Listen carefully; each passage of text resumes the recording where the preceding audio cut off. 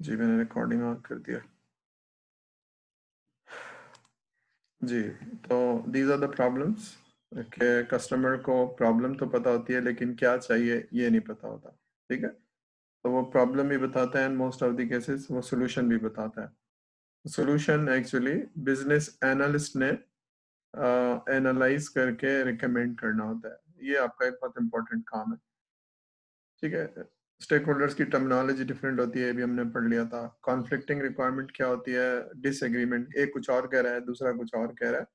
अच्छा ये बहुत नॉर्मल है। अभी आप क्योंकि एक्सपीरियंस से नहीं गुजरेंगे तो जितनी बड़ी ऑर्गेनाइजेशन होगी, उतनी डिफरेंट किस्म की रिक्वायरमेंट्स होंगी। तो ये आपको रिजॉल्व करनी होती है, ठीक? है तो अब जितनी आपकी अच्छी नॉलेज होगी, जितनी पीपल्स मैनेजमेंट होगी, आप कर पाएँगे।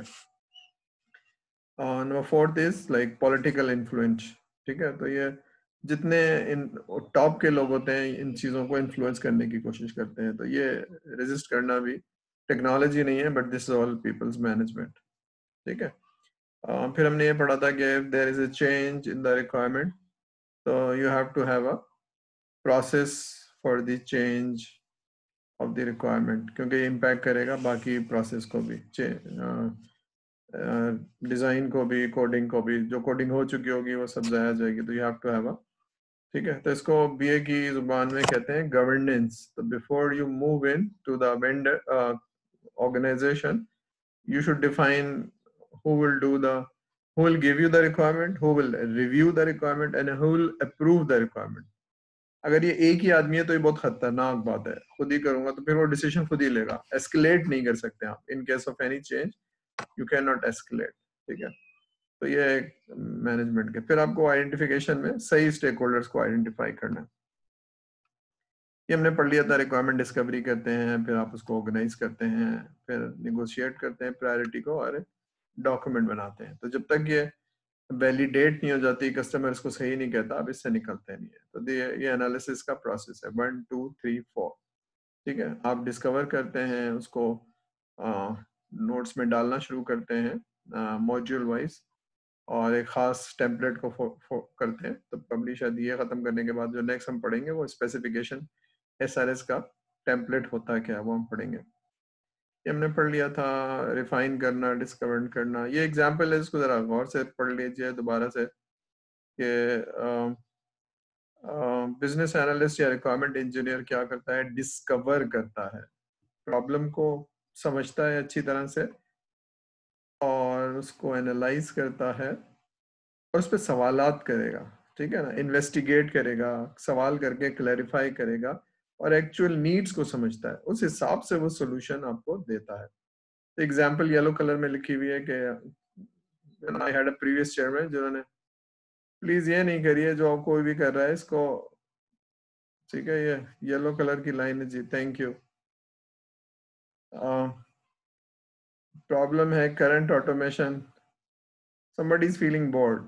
उसका माउस चल रहा है प्रॉब्लम है कि करंट ऑटोमेशन इज़ वीक हमने पढ़ लिया था और लेकिन उन्होंने बता भी दिया कि भाई उनकी ख्वाहिश ये थी कि आप एस को जो जर्मनी का सॉफ्टवेयर इसको इम्प्लीमेंट कर दीजिए तो हमने कहा था देखा था कि इसमें एक्चुअल नीड आइडेंटिफाई नहीं हो रही है ठीक है तो एक्चुअल नीड आइडेंटिफाई नहीं हो रही तो there is a great possibility कि आप एस को इम्प्लीमेंट कर लेंगे और नीड एड्रेस नहीं होगी। ठीक है? इसको रिक्वायरमेंट uh, इंजीनियरिंग की ज़ुबान में ये बोलते हैं कि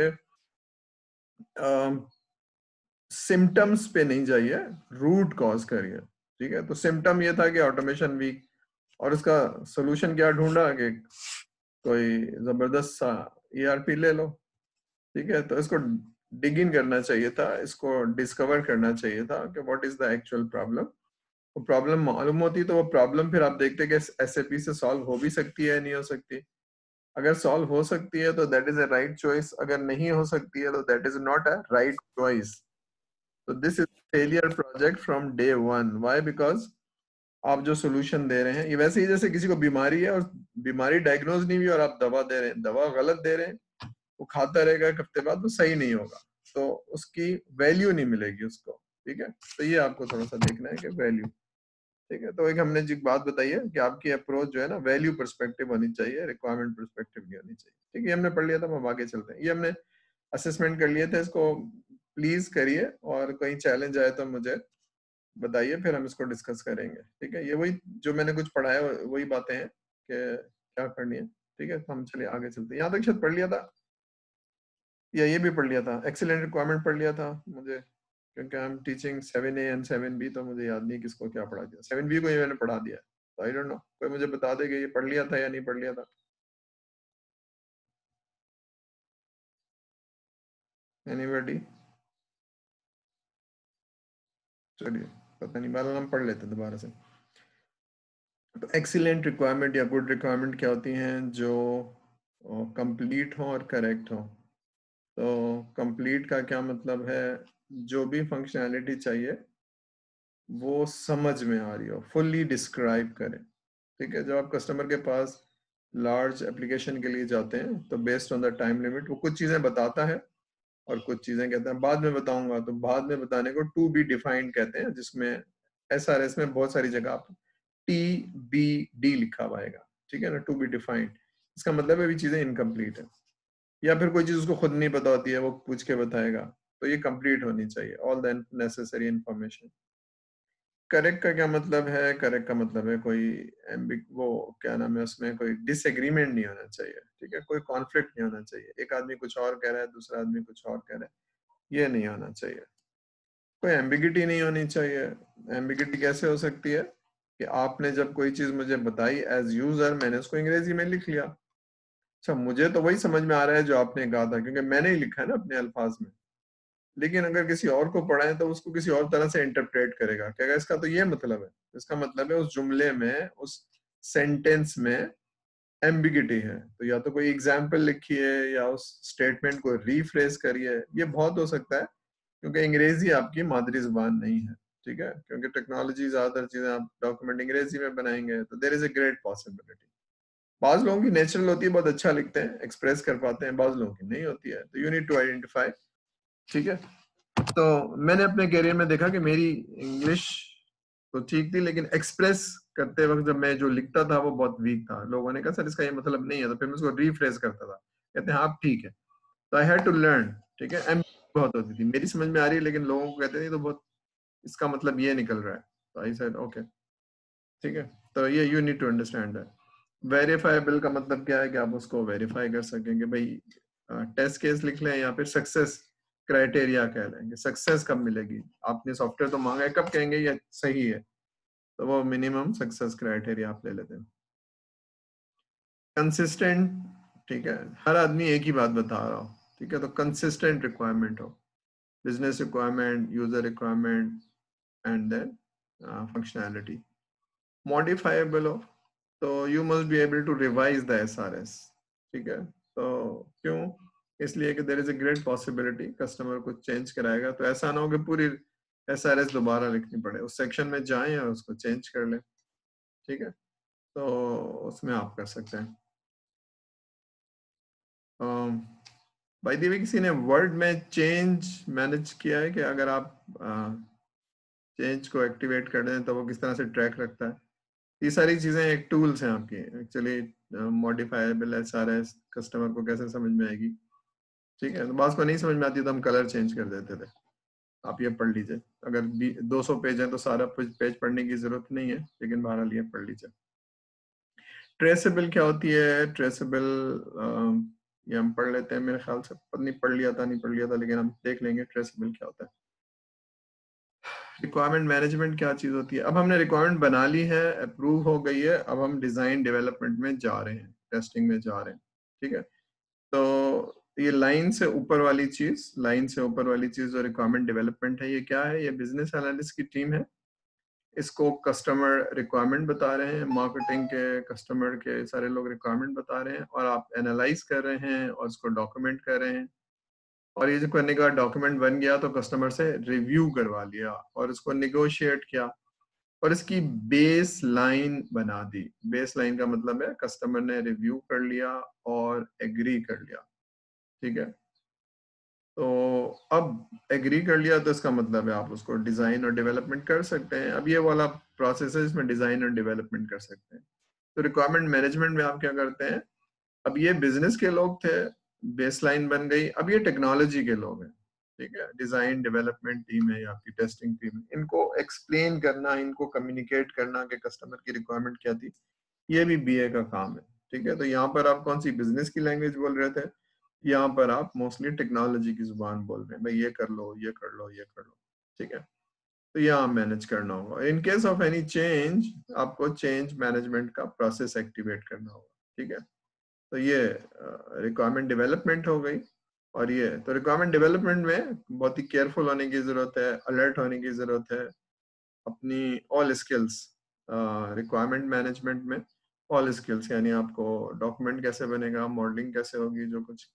ठीक है, उसके अलावा पीपल्स मैनेजमेंट और उसके अलावा अपनी कम्युनिकेशन को। अच्छा भाई दिवे बिज़नेस एनालिस्ट के अंदर एक नॉलेज एरिया नॉलेज एरिया नहीं बल्कि क्या है? स्किल सेट है जिसको वो कहते हैं अंडरलाइंग कॉम्पिटेंसी तो underlying competency is nothing but the soft skills अच्छा वो बहुत इंपॉर्टेंट है। अगर आप रिक्वायरमेंट इंजीनियरिंग में लेना आ, को करियर को लेना चाहते हैं तो वो बहुत इंपॉर्टेंट है। इसकी एग्जांपल यूँ समझिए कि मेरे पास दो बिज़नेस एनालिस्ट हैं और एक की डोमेन की नॉलेज बहुत अच्छी है और एक की डोमेन की नॉलेज एवरेज है। लेकिन एक की skill set about handling customer यानी people's management is excellent average वाले की पीपल्स मैनेजमेंट एक्सीलेंट है। और जो, जिसकी डोमेन की नॉलेज बहुत अच्छी है, उसकी पीपल्स मैनेजमेंट अच्छी नहीं है। तो आपके ख्याल में कौन सा आदमी वैल्यूबल होगा ऑर्गेनाइजेशन के लिए? ठीक है? अब ये सवाल जरा सोच के लिख लीजिए और फिर बाद में जवाब देंगे। हम जब क्लास खत्म कर लेंगे, इस पर जवाब दीजिएगा। ठीक है? बेस लाइन क्या होती है? बेस लाइन जनाब defining the baseline represent agreed upon requirement इसका मतलब ये है कि जब आपने रिक्वायरमेंट ले ली और उसके बाद ऑर्गेनाइज करके एक स्ट्रक्चर बना दिया। स्ट्रक्चर बनाने के बाद आप कस्टमर को दिखाएँगे। ठीक है? तो कस्टमर को दिखाने पे वो एग्री हो सकता है या डिसएग्री हो सकता है। तो जब वो एग्री हो जाएगा एक सर्किल के बाद या आइट्रेशन के बाद या दूसरे आइट्रेशन के बाद तो फिर वो एग्रीमेंट हो गई साइन ऑफ़ हो गई, वो बेस लाइन बन गई। ठीक है? अब आप क्या करते हैं? वो दे देते हैं डिज़ाइन डेवलपमेंट को। तो reviewing propose requirement changes impact of this changes अगर चेंज हो रही है तो आप किसी से रिव्यू करवाएँगे। ठीक है? तो रिव्यू करवा के उसका इम्पैक्ट देखेंगे। तो ये चेंज कंट्रोल बोर्ड की बात हो रही है कि अगर रिव्यू तो हो सकता है आपसे करवा लें या टेक्निकल लोगों से करवा लें।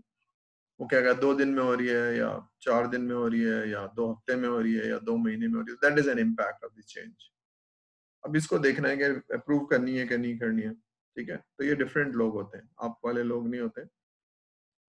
ये जुमला याद रखिए any change is a new project any change is a new project after baseline क्योंकि बेस लाइन एग्रीमेंट हो गई थी ना, अब जो चेंज आएगी उसको सेपरेट प्रोजेक्ट इसलिए देख रहे हैं कि वो रिक्वायरमेंट का इम्पैक्ट देखेंगे।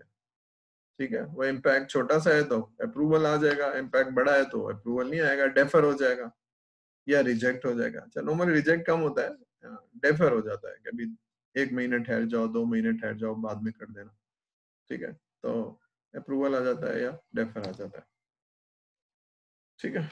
तो ये रिक्वायरमेंट चेंज का एक प्रोसेस होना चाहिए। वो प्रोसेस अभी हम नहीं जाएँगे इसमें, लेकिन बारह एक प्रोसेस होना चाहिए, ये याद होना चाहिए। जिस तरह टेम्पलेट होना चाहिए एस आर एस का, इसी तरह से चेंज कंट्रोल करने का एक प्रोसेस होना चाहिए।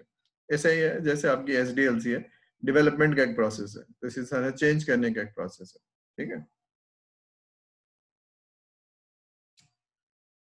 रिक्वायरमेंट मैनेजमेंट में क्या करेंगे? Keeping the project plan current with the requirement ठीक है, इसका क्या मतलब है?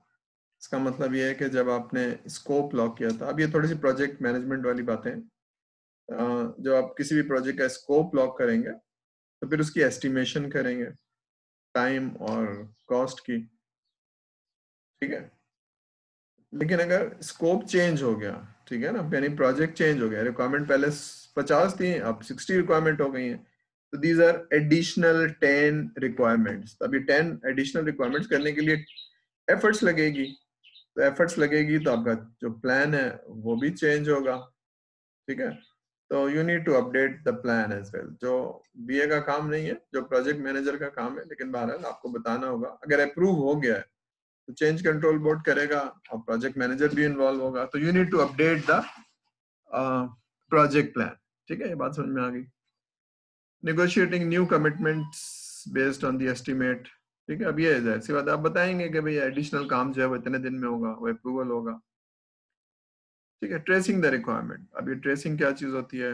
लिखा हुआ है कॉरेस्पॉन्डिंग जो रिक्वायरमेंट है, वो ट्रेस करे फॉरवर्ड ट्रेस हो रही है डिज़ाइन से सोर्स कोड से और टेस्ट कैसे से ठीक है तो रिक्वायरमेंट कैसे डिज़ाइन से ट्रेस करेगी डिज़ाइन कैसे सोर्स कोड से और कैसे टेस्ट करती है हम नेक्स्ट स्लाइड में देख लेते हैं। ठीक है ये एक ठीक है, ये बॉडी ऑफ़ नॉलेज से मैंने लिया आई आई आई बी ए की बॉडी ऑफ़ नॉलेज से। ठीक है तो ये जो तीन चीज़ें हैं these are your requirement business triangle जो याद आपको business requirement stakeholder requirement and solution requirement solution का मतलब है फंक्शनैलिटी जो चाहिए। तो फंक्शनैलिटी किससे मैच होनी चाहिए? बिज़नेस रिक्वायरमेंट से। बिज़नेस रिक्वायरमेंट किससे होना चाहिए? एक छोटा सा जुमला होगा कि हमें ये प्रॉब्लम है। तो this is like business need अभी रिक्वायरमेंट हो गई तो रिक्वायरमेंट ये आपका डेवलपमेंट फ़ेज़ है, ठीक है? ये ये रिक्वायरमेंट डेवलपमेंट फ़ेज़ है, ये रिक्वायरमेंट मैनेजमेंट फ़ेज़ है। तो डिज़ाइन कोड टेस्ट ठीक है? अब इसको हम एक नेक्स्ट डायग्राम में देख लेते हैं। यहाँ तक सही है बिज़नेस रिक्वायरमेंट स्टेक होल्डर ये सारी रिक्वायरमेंट्स हैं, ठीक है ना? तो एक्चुअली आपको सोल्यूशन रिक्वायरमेंट को डिज़ाइन कोड टेस्ट में करना है, ठीक है? अब ये डायग्राम देखिए। On your left hand side ये वो है, जब आप मीटिंग कर रहे हैं कस्टमर से तो कस्टमर ने कुछ रिक्वायरमेंट बताई है। ठीक है? Requirement number one two three अब ये चालीस भी हो सकती हैं, सौ भी हो सकती हैं। ठीक है? तो एग्ज़ाम्पल ये है कि इसमें फोर्टी रिक्वायरमेंट्स है। ये दस हैं, ये दस हैं, ये दस हैं। ठीक है? दीज आर द रिक्वायरमेंट्स पहली रिक्वायरमेंट क्या है, मसलन? एक एप्लीकेशन है जो बैंकिंग की है, लेकिन सबसे पहले मुझे ये देखना है कि जब भी आप एप्लीकेशन में जाए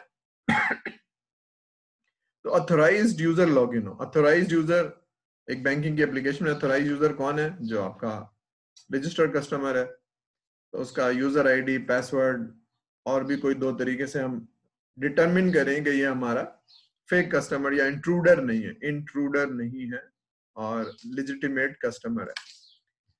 अब ये स्क्रीन बनानी है। तब इस बनाने के लिए, ये तो उन्होंने बता दिया, लेकिन ये बनाने के लिए एक स्क्रीन बनेगी।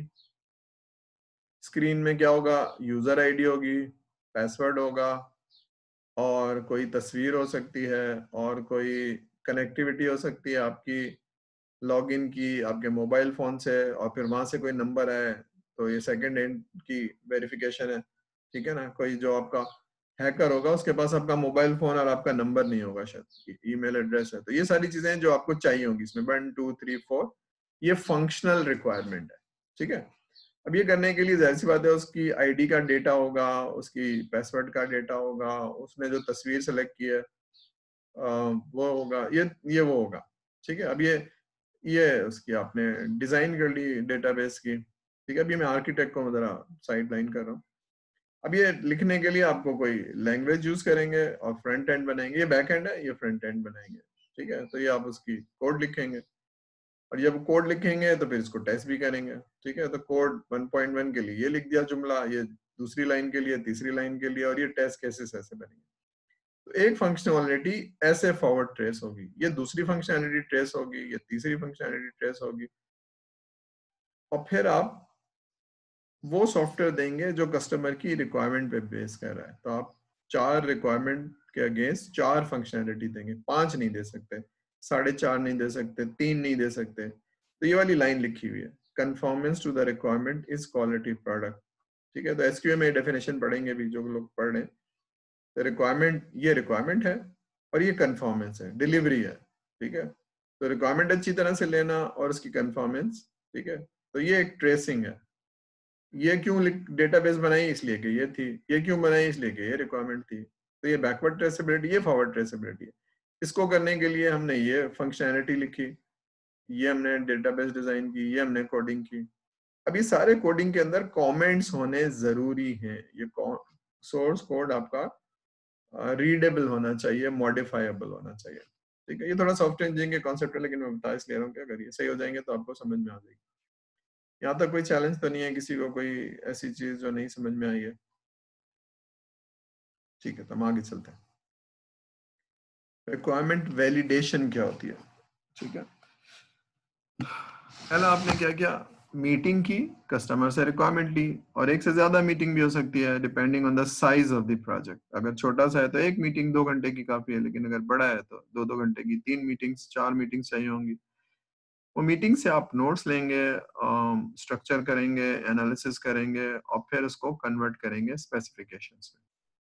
वो स्पेसिफिकेशन आपकी बन गई। ठीक है? तीन मीटिंग्स के बाद, एक हफ़्ते के बाद आपने रिक्वायरमेंट बना ली। अब कस्टमर को दिखाएँगे।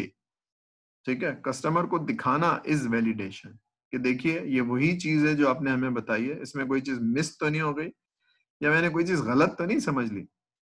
ठीक है? तो ये वेरिफिकेशन या वैलिडेशन ठीक है? Verification is another word verification internal होती है। वो आपकी अपनी टीम के लोग कर लेंगे इसमें। ठीक है? तो ये वैलिडेशन होगी। इसका क्या मतलब है? ये वही फंक्शनैलिटी है जो आपको चाहिए। इसमें कोई चीज़ मिस तो नहीं हो रही। ये मेक श्योर sure करने के बाद फिर आप डिज़ाइन एंड डेवलपमेंट टीम को देंगे। ठीक है? तो कस्टमर ये यही चाहते हैं ना आप। ठीक है? तो ये एक एक्सरसाइज है। यानी आपने जब रिक्वायरमेंट ली थी, उस वक्त आप घंटों बैठे थे। उसके बाद आप जब वैलिडेट करेंगे, उसमें घंटों तो नहीं, लेकिन बहरहाल आपको अच्छा खासा टाइम लगाएगा ये वैलिडेट करने में, ठीक है? कस्टमर्स पे गौर से देखे फोकस करे और कोई चीज़ नहीं समझ में आ रही है तो पूछे, ठीक है? अच्छा बाज लोग क्या करते हैं रिक्वायरमेंट लेते वक्त तो जाते हैं, बैठते हैं कस्टमर पे और फिर क्या करते हैं कि डॉक्यूमेंट बनाने के बाद कस्टमर को सॉफ्ट कॉपी या hard copy normally soft copy भेज देते हैं कि अब आप इसको देख लीजिए। अच्छा ह्यूमन साइकोलॉजी क्या है कि कोई बड़ा सा डॉक्यूमेंट आ जाए तो तो वो रेजिस्ट करता है पढ़ते वक्त, क्योंकि पता नहीं मैं पढ़ पाऊँगा, समझ पाऊँगा टाइम भी लगेगा तो। इसकी एक अच्छी एक्सरसाइज ये कि वैलिडेशन में जैसे आपने रिक्वायरमेंट लेते हो, आप गए थे तो भेज दीजिए सॉफ्ट कॉपी लेकिन आप उसके पास चले जाइए और उसको वैलिडेट कराइए। तो ये एक अच्छी एक्सरसाइज होती है आपको जल्दी और क्विक रिज़ल्ट मिल जाते हैं और कस्टमर को चैलेंज भी नहीं आता। ठीक है? वैलिडेट करेंगे क्या? या वैलिडेट में क्या चीज़ आप देखना पाए?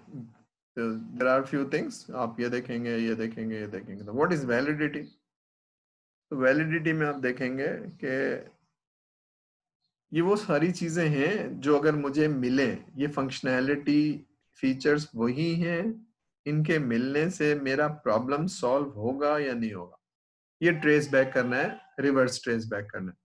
ये सारी फंक्शनैलिटी देने से मुझे मेरा मसला बिज़नेस प्रॉब्लम सॉल्व होगा या नहीं होगा? अगर नहीं हो रहा है तो ये फंक्शनैलिटी मेरे लिए बेकार है। समझ रहे हैं ना आप? ये this is not a successful project अब जरा याद करिए उस डेफिनेशन वो एग्ज़ाम्पल को, जिसमें चेयरमैन कह रहे थे सैप खरीद लो।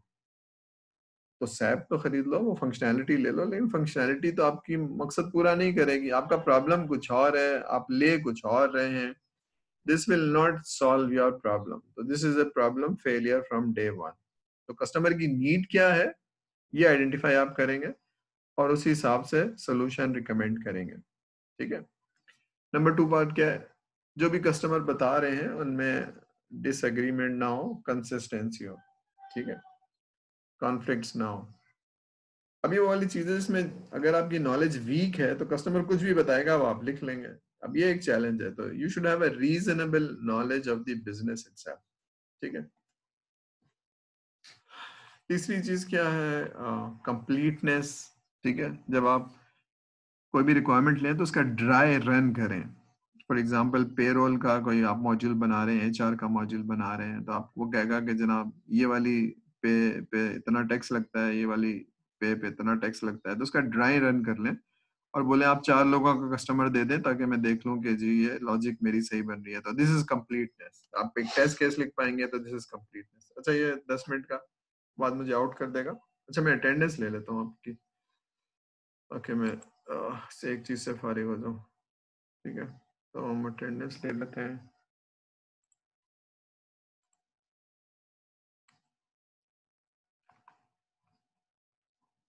ठीक है, जरा अटेंडेंस बोलते जाइएगा। ताकि फिर वो मैं ब्रेक भी कर देता हूँ चलिए मुर्तजा। प्रेजेंट सर आपको नज़र आ रहा है? Can see that Joeb. Present sir Hafsa Abdul Qadir. Hafsa है। Mohammad Afan.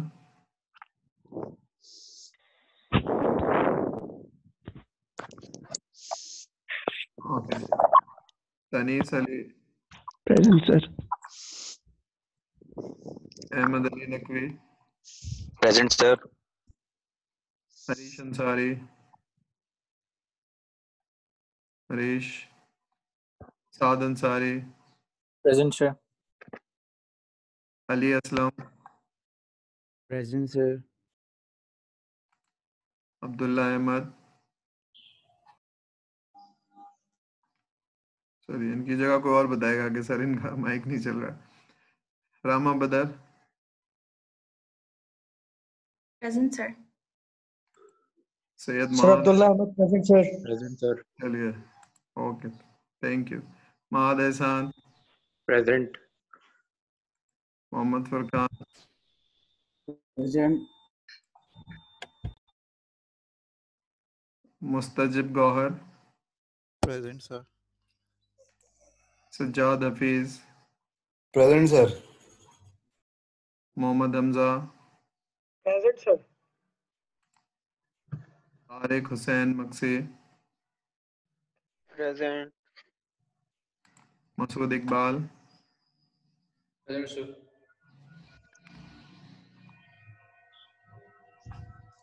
उसामा इस इसहाक Present, sir. फराज क्या ने present sir Jahangir Khan. Present sir Niyaz Ahmad. Present sir Farid Ahmad Imad. Farid Ahmad. Hariba Mohammad. Present sir Ehsan Mukhtar. Present. Raza. Raza on Raza. On Raza. Ehsan Rizwan. Adesh Roy. Present, sir. Mirza Saad Baig. Saad Mohammad Saifuddin Present. Mohammad Shiraz Yes, sir. फिर किसी की रह तो नहीं की attendance anybody और फुरकान भी present है इन दोनों ने मैसेज किया है कौन हफ्सा एंड फुरकान मोहम्मद फुरकान एंड हफ्सा फुरकान की तो लगी हुई है। एंड हफ्सा ठीक है। चलिए।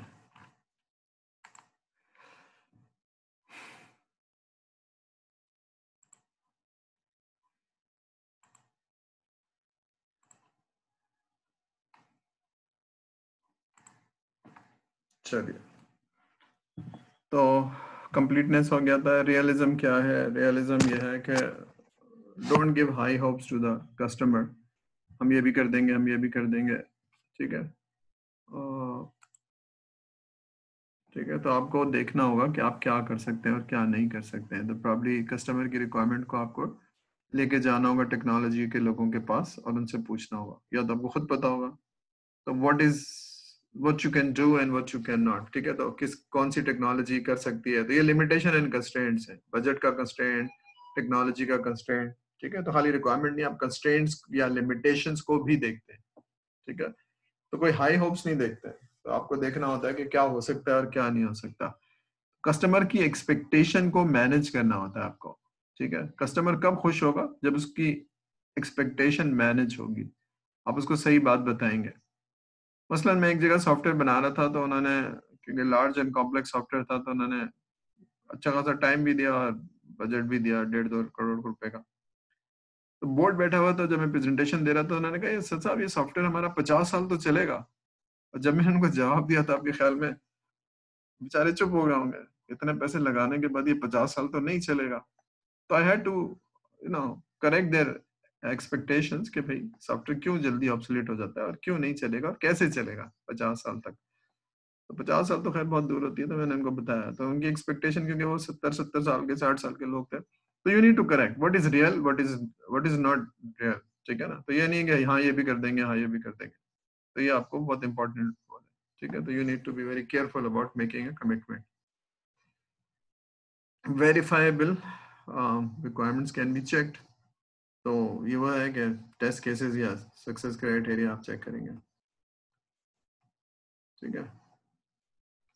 रिक्वायरमेंट वैलिडेट टेक्निक्स क्या चीज़ होती है? रिक्वायरमेंट वैलिडेट टेक्निक्स की रिक्वायरमेंट uh, का फॉर्मल रिव्यू होता है जिसको इंस्पेक्शन कहते हैं प्रोटोटाइपिंग होती है और टेस्ट केस होती है। चाहे बीपीएन लास्ट लेक्चर में बच्चों को समझ नहीं आ रहा था तो मैंने बीपीएमएन इसलिए लिख दिया। मैं इसको भी एक्सप्लेन करता हूँ बीपीएमएन है क्या चीज़। तो ऊपर वाली जो चीज़ है वो ये है again this is part of the software engineering के जब आप रिक्वायरमेंट लेते हैं तो आप नेक्स्ट फ़ेज़ में नहीं चले जाते हैं, बल्कि आप उसको इंटरनली रिव्यू करते हैं। तो जिसने लिखी होती है फॉर एग्जांपल मैं बीए हूँ तो मैं खुद से नहीं रिव्यू करूँगा। मैं किसी एस क्यू ए इंजीनियर को दूँगा। टेस्ट इंजीनियर नहीं एस क्यू ए इंजीनियर को। ठीक है? तो वो उसको रिव्यू करेगा। क्यों रिव्यू करेगा? रिस्क बहुत बड़ा है, ठीक है? मैं आपको कुछ लिखवा रहा हूँ और आप अपने लिए नोट्स लिख रहे हैं। तो क्योंकि आप नोट्स लिख रहे हैं तो आपको समझ में आ जाएगा कि आपने क्या लिखा है। लेकिन है कि आप एप्लीकेशन लिख रहे हैं, जो कि डीन साहब को या वाइस चांसलर को दिखानी है। तो देर इज़ ए रिस्क मैंने सही से ना लिखा हो या जो कुछ मैं लिख रहा हूँ, वो सही से ना लिखा हो।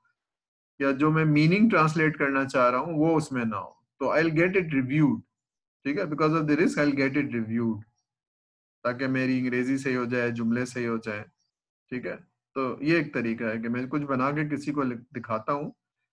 ये इनफॉर्मल नहीं होता है। इनफॉर्मल ये है कि मैंने बनाया और बराबर वाले को दिखा दिया। फॉर्मल का मतलब है प्रोसेस का पार्ट है, इसका कोई डॉक्यूमेंट बनेगा, उसकी कोई रिपोर्ट बनेगी। और ये रिव्यू होने के बाद देर आर थ्री ऑप्शन या तो वो अप्रूव हो जाएगी, या वो रिजेक्ट हो जाएगी। तीसरा ऑप्शन ये कि कंडीशनल अप्रूव हो जाएगी। ये छोटी छोटी मिस्टेक है, इसको सही कर लेना और फिर उसके बाद दे देना। ठीक है? तो ये मेजर मिस्टेक्स पे नहीं होती माइनर मिस्टेक पे होती है। तो this is a part of the software development process ठीक है? तो अगर जिन लोगों को वाटरफॉल याद है रिक्वायरमेंट से डिज़ाइन में जाते होने से पहले एक रिव्यू होगा इंटरनल रिव्यू होगा। ठीक है? तो ये उसकी टेक्निक है। नंबर टू पार्ट है प्रोटोटाइपिंग। तो प्रोटोटाइपिंग क्या है? जब आप कस्टमर से रिक्वायरमेंट ले रहे होते हैं, फॉर एग्जांपल जब मैं ले रहा होता हूँ तो नॉर्मली दो तीन चीज़ें हैं जो मैं करता हूँ। क्या करता हूँ? मैं डिस्ट्रैक्शंस अवॉइड करता हूँ, ठीक है ना? जब भी आप डिस्ट्रैक्ट करेंगे, जैसे फॉर एग्जांपल अभी आप लेक्चर ले रहे हैं तो अगर कोई डिस्ट्रैक्शन है मोबाइल फ़ोन या कोई और चीज़ तो ये दीज आर ऑल डिस्ट्रैक्शन जो आपके माइंड को एंगेज कर लेंगे और आप फोकस नहीं कर पाएँगे। इसी तरह से रिक्वायरमेंट में भी है। तो what is my precondition कि जब भी रिक्वायरमेंट होगी, आपके रूम में नहीं होगी। क्यों? यहाँ पर मोबाइल फ़ोन भी है ईमेल भी है, सारा कुछ है। हम छोड़ के कहीं और जाएँगे। ठीक है? तो डिस्ट्रैक्शन नहीं होगी। फिर हम बोर्ड रूम या बोर्ड होना चाहिए। और फिर आप जो कुछ हमने पूछना है, वो हम सवाल करके बेचेंगे तो आप फोकस करेंगे। ठीक है? तो normally what I do I go to the board और मैं बताता जाता हूँ प्रोसेस बनाता जाता हूँ और कोई इसको नोट डाउन करता है। तो जो जूनियर भी है, वो उसको नोट डाउन कर लेता है। ठीक है? फिर उसको डॉक्यूमेंट करते हैं और फिर कस्टमर को दिखाते हैं। तो जब कस्टमर को दिखाते हैं एसआरएस तो हम एक्चुअली क्या कह रहे हैं? Is that what you want ठीक है? तो तो प्रोटोटाइपिंग क्या है? प्रोटोटाइपिंग ये है कि कोई भी चीज़ फॉर एग्ज़ाम्पल उसने रिपोर्ट बताई। तो मैं प्रोटोटाइप बनाऊँगा। अभी सब आप सॉफ्टवेयर इंजीनियरिंग में पढ़े होंगे